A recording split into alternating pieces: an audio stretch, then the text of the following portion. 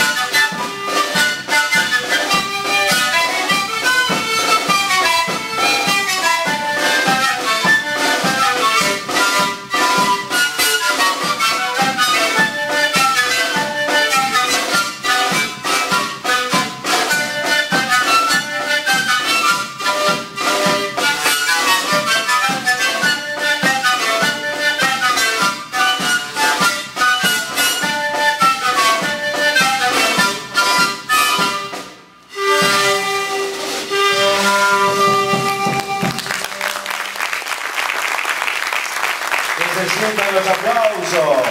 Acá está presente nuestra música, nuestra historia, nuestra gente. Franco Toraba y sus amigos. Estos son los instrumentos autóctonos que hoy en día recorre la fe hacia el Abra de Punta Corral. Muy buenas noches. Buenas noches, ¿cómo le va? ¿Cómo están? Buenas noches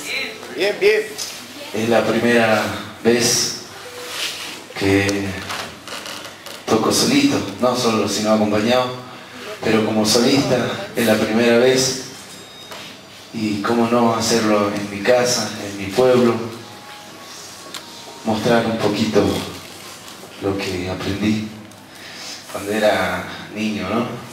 Un poco justamente la entrada este, es la fiesta ¿no? que nos identifica un poquito acá en Tilcara, que es la Semana Santa, justamente el tema se llama Camino hacia el Abra de Punta Corral, que queda hacia 25 kilómetros hacia el este. Eso lo hacemos nosotros el día lunes, después del domingo de Ramos.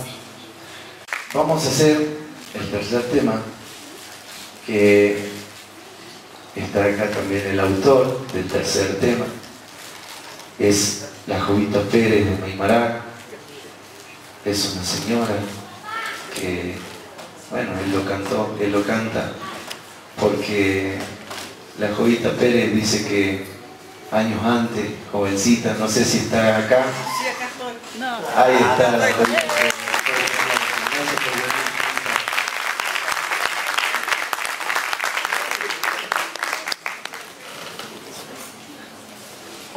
Vamos a hacer su tema, el tema que lo compuso para usted, don Tomás Lipán y Domingo Río.